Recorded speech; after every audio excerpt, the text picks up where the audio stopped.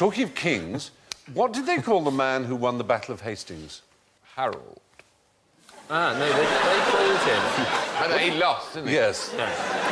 What did they call the man who won? William the Conqueror. William the Conqueror. No. no, that we call him William the Conqueror. what did they William call him in the Normandy, I think. William Le Conqueror.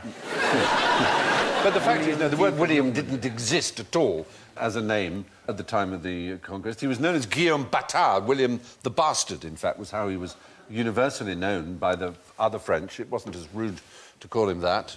The bloke on the left appears to be riding a llama. I mean, that's definitely a horse on the right. I mean, he's got a parrot. He's a random pirate has arrived in the middle. well, I arrived on a busy day here in Hastings. Who's that doing the embroidery over yonder? Get uh, my good side. As you might see in the top left corner, the word William is kind of developing. It's become Wilgelm. No, it's Wilgelm. Will Six Elm.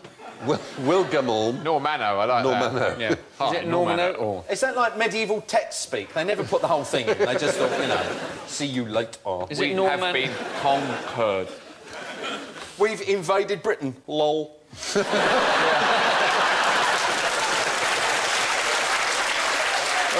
OMG. Very good. So, they have indeed. Um,